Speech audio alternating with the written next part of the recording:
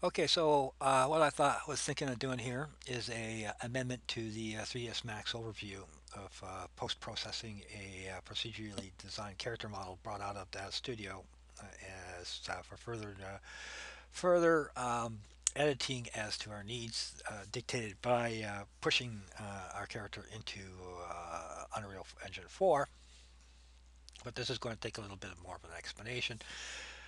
As it does fall uh, into the category of something a little bit more aggressive as far as as the natural flow of things, so to speak, as in uh, as in directly relating to the uh, rather um, large poly count as re- represented by the character as it's imported into it, which is some would see as being a kind of deal breaker kind of thing. But uh, if we go to uh, our poly counter, we'll throw that in there and we bring that up, uh, you can see that uh, our total tris count, this is in triangles. This is the actual the actual count and weight of this character once it is imported into uh, into Unreal 4 is 42k.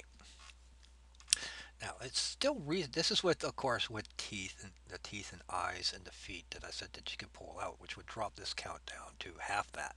If we looked at it as, as a poly count, you know, we can fool ourselves into believing that uh, our, our load rate here is uh, 21k, but that is in polygons, which is now it's kind of a lie because it's not the actual count of it as as it is is in tris. So when you're talking about about anything that you're pulling into Unreal 4, you have to either uh, indicate that it is in tris or triangles, or actually tell somebody that it's in polygons to count in polygons, which then they can automatically just multiply that by two. Just thought I'd point that out, but it's still reasonable. It's within, with, it's in the ballpark, so to speak, but it does have inefficiencies that are not really required. So, for example, if we just kind of zoom up and we look at the wireframe, it has our player model has definable nails, which aren't necessarily required. So we would want to do some editing to fine tune this down. Uh, maybe get rid of uh, some of the unnecessary edge loopings or what have you. Um, and that in itself would, uh, you know, uh, if we're talking about doing that as a tutorial, would take as long as it takes it needs to get this down to definable shape. But I've been able to get this down to say uh, around 8K and still maintain the overall uh, resolution of the character model without, you know, going too far. So in our case, our plan is that we're going to put boots and shoes on, boots and shoes on our character model. So cut off the feet on the way and toss them out. Uh, I already have a set of hands that I'm going to be using repetitive, so they can be Frankensteined onto the model, and those uh, hands will be done as uh, as gloves to kind of hide the fact that they're, you know, they've been uh, cut and pasted kind of idea and uh, or appended onto the player model. So that kind of hot, we will be able to hide the uh, the wrist area here uh, through uh, blinging out the character model. So we can fine tune things down uh, to our we need. Like for example, the ears, they can go and I can uh, paste on some generic uh, low poly ears onto that. Nobody will actually really notice. So we can do a lot of this post processing, but we would still need to have some sort of connectivity to, once again, to our source chain. So all that is holy. We want to maintain that as much as possible. Now we can use the power and flexibility in this case of the, uh, the stack to do those kind of edits. And uh, in most cases, we'll want to, uh, say for example, delete off the, uh, well, leave the skin modifier onto it. What I'm going to do is I'm going to select it, create a clone of it, and I'm going to call this um, player model edit. So anything that we're going to do to this is going to be done on this level here. Now you want to double check your, your, your stack to ensure that what we just did doesn't happen to you. In this case, what we done, I've done is created what's called an instance modify, uh, an instance model based on the original. So you can tell that by the fact that all of the modifiers within the stack are in boldface. So any edits that we make to this model is also going to channel down into whatever model that we've uh, extracted this copy from, so or cloned it from. So we want to make sure that this is set up as unique, and we want to delete the stuff off the stack and of course this puts us back into what we call our bind pose in other words uh, as long as we maintain the, the same pose that we did when we skinned it to the rig, that the rig is in position relative to this pose, it will be always be considered uh, bind posted. Posed did. Uh, boy, I just think I just made up a word there that that's not really true. But because of the way the stack modifier works, we can then you know channel things through it that will always be uh, connected to that skin modifier. So actually, let's kind of back things up a bit. We're going to put our skin modifier back onto it, and I'm going to delete the morpher off of it because I want to make some uh, some uh, some um, random edits to this mesh here to kind of you know actually let's keep the modifier onto it. What we want to do is actually is place a edit poly modifier onto the top of the stack and then kind of drop that down below the skin modifier. Now the way the modifier works is it starts its process from the bottom and works its way up to the top. So we start with our base uh, player model at the bottom of the stack here Next thing it does is it goes up to the morpher. It will process the information into the morpher.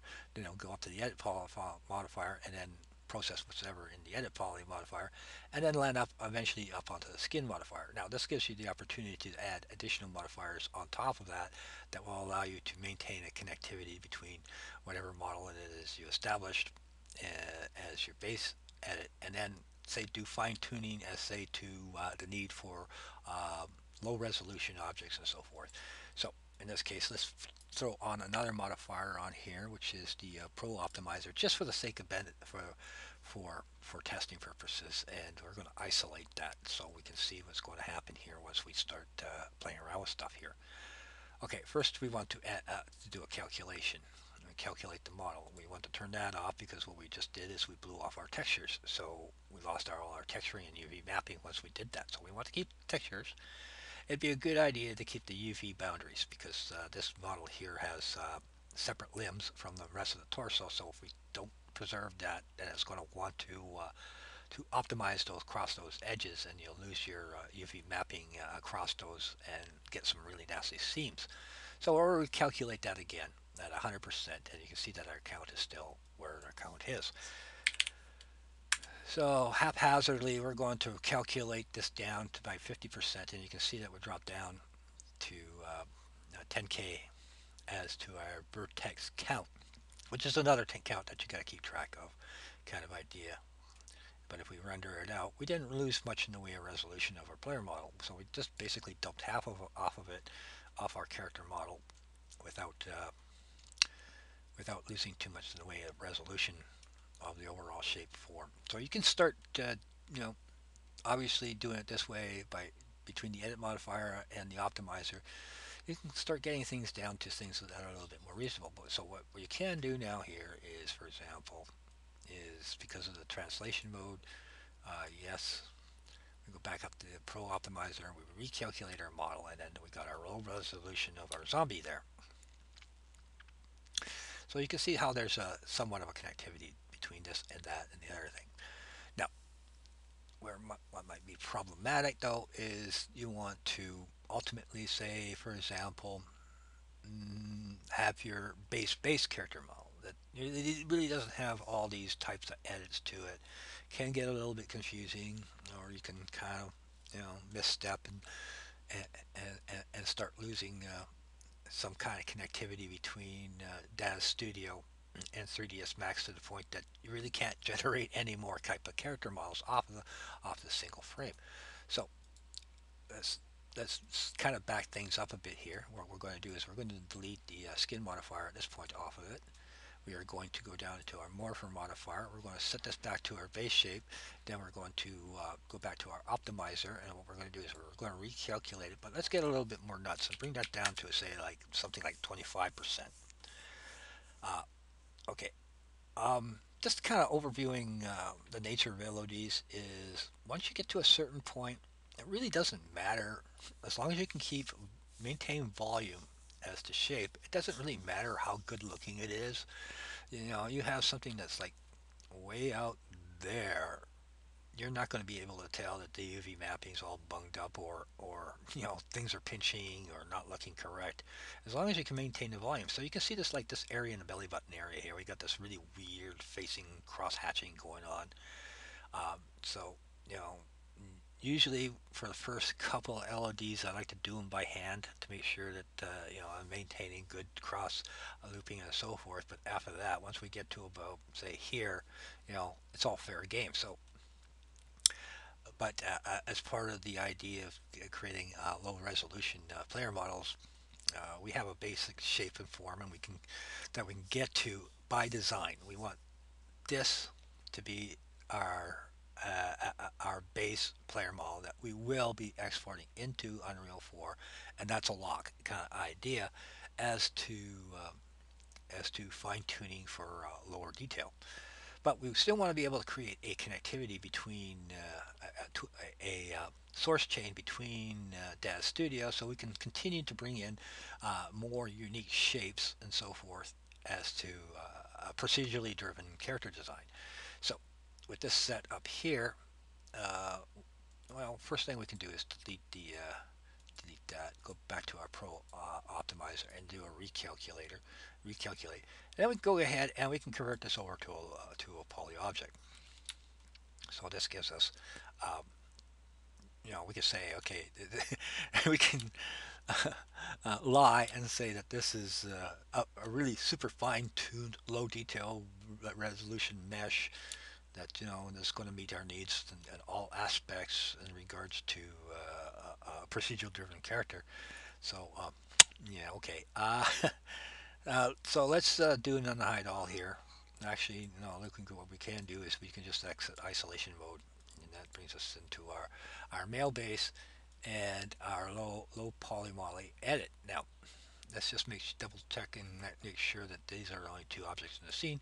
Now we want to create a we want to create connectivity as part of a source chain between what we just described here because of, of what's coming out of Daz Studio into 3ds Max into our low resolution model and create a, a, a chain of connection between the, these uh, uh, tool driven um, uh, key features. So what you can do in this case is we can select our male edit and we can select a what's called a skin wrap modifier. Now skin wrap modifier is a really nice tool in that you can take our our basic form and shape that we created a low resolution proxy or resolution uh, LOD or whatever and we can add the male base as the target. You're going to have to give this a little bit of time to kind of figure it out, the, uh, the uh, you know, the connection between the two of them. And, uh, you know, this is the waiting time that you have to do when uh, you're using a high resolution player model. And then you're trying to think of things to say and talk about in the meantime while you're waiting and waiting and waiting. At some point you can unclick the ad. It's a good idea because to make sure that your ad is unchecked because you can go and oh, okay well that's done and you can go click on something else. Then you gotta wait forever because it's going to want to bind it to that uh, and add that to its, its wrap deformation uh, setup here. So you can see that this puts a skin wrap modifier on top of the stack here. And uh, if we, uh, let's see how we can do this. Okay. If we take our proxy mesh, edit, and we take that and we put it onto the top of the stack. So now it hides when we have it hit on the top of the stack we should be able to go to the player mesh, select it in the uh, modifier. It's going to be hidden, but will still, still give us access to the morpher and so forth. So now, with the binding, if we go, you know, we want uh, a, a male zombie. We want a female zombie. We can see that it still deforms somewhat uh, correctly. Know, uh, we did a, a, uh, a, once again we did a procedural type of uh, edit to it. So you know if this is going to be our base model we want to be a little bit more picky fussy about what we're going to exclude as part of the model. But we once again have established a uh, connection between uh, our player model and uh, our base player model and uh, the character driven uh, procedural tools that are available in DS and now we can just once again go back to however we want to export this. We can create more shapes, for example, off of this and reapply them. So, you know, in this case, we're going from uh, DS into 3ds Max, which then we extract the morph shapes from off the base model, creating a low resolution version of our model. Then from that, we're skin wrapping that model to the base player model, and then from here we can extract another set of uh, shapes that we can then directly apply as a morph shape to our base player model. So now I hope that's not too confusing, but I hope it as an over overview, it just tells, gives you an idea just how flexible you can make based on choices and decisions that are available to you rather than having to settle for a, a set pathway, which is you know, typical of, uh, of most engines that I've, uh, game engines that I've, uh, I've tried out. There's not enough flexibility, but you know, Unreal 4 seems to be biased more towards using uh, uh, pathways and tool sets that are that have a, a lot better connectivity to uh, uh, DCC applications like 3ds Max or even um, uh, Studio. So uh, once we have this done, if we wanted to, we can go ahead and do the same process that I suggested before, do a collapse all, say yes, and we have, whoops, we can do a collapse 2. And now we have our low resolution model connected to our skin modifier, which can export into uh, Unreal Engine 4. Okay, so uh, I thought that would be a, a an in interesting overview of, of, connectivity, so uh, I added that as an appendment.